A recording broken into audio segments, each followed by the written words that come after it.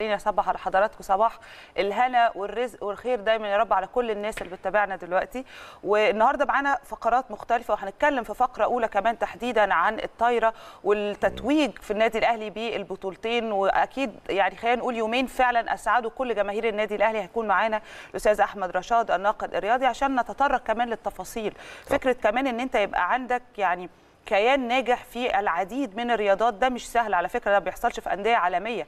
يعني في أندية عالمية ممكن تلاقي في نجاح في رياضة اثنين ثلاثة مع كرة القدم لكن صح. فكرة إن أنت تبقى فعلا ملوك الصالات فده أمر مختلف تماما مع كمان فريق أول عندك النادي الأهلي. أكيد ده بيفرق بشكل كبير وبيدل على منظومة أكيد ناجحة. فقرة ثانية هينورنا فيها كابتن إيهاب جلال نجم النادي الأهلي السابق. وهنتكلم بقى عن مباراة أمس طبعا بلدية المحلة والتحديات القادمة طبعا بالنسبة للنادي الأهلي سواء على المستوى المحلي أو المستوى القاري.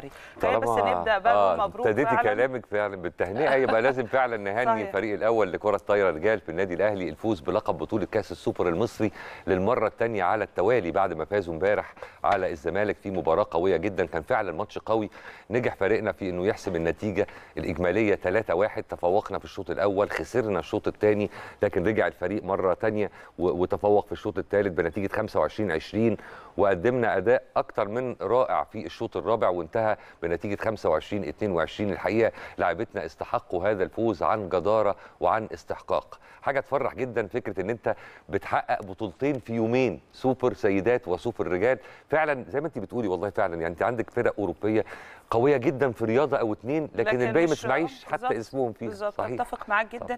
وخلينا نقول فعلا يعني بطولتين مهمين جدا وتابعناهم مع حضراتكم على شاشة كمان آه، الأهلي. وإمبارح المباراة كانت خلينا نقول بجد قوية جدا. هي انتهت طبعا الفرحة كانت كبيرة فوز النادي الأهلي وإحنا قلنا يعني آه، قلنا الكلام ده امبارح قلنا إن شاء الله هنفوز باللقب واللقب ده كمان العظيم فيه واللفتة اللي كانت رائعة فيه إن إحنا أو اللعيبة أهدوه لروح برضو سيادة الوزير العمري فاروق طبعا يعني خلينا نقول الحاضر الغائب في كل لقطات المباريات الحقيقة. وموجود قدام حضراتكم طبعا. لن ينسى فعلا في ناس لن تنسى.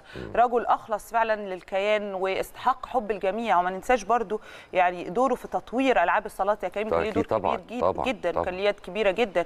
وبرضو مع كل بطولة إحنا بنتكلم فيها هتلاقي أو هنلاقي نفسنا بن- بنفتكره بنفتكر كل الرموز بصراحة اللي قدمت كتير للنادي الأهلي. خلينا كمان نروح لفتيات المباراة. وبيبدو كده إن برضو خلينا sorry أنا اسف فنيات المباراة.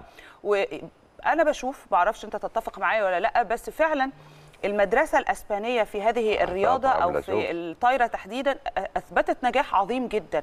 يعني أنت عندنا في طايرة رجال المدير الفني طبعا آه، الأسباني واللي هو واضح جدا تأثيره الكبير على الفريق لحد دلوقتي مش بس فنيا لكن كمان من الناحية المعنوية. وده ال mix الصعب اللي إحنا دايما بنقول. أنت ممكن تبقى مدير فني جيد جدا على المستوى الفني لكن ما يبقاش في chemistry بينك وبين اللعيبة. وده خاصة لو أنت مدير فني أجنبي.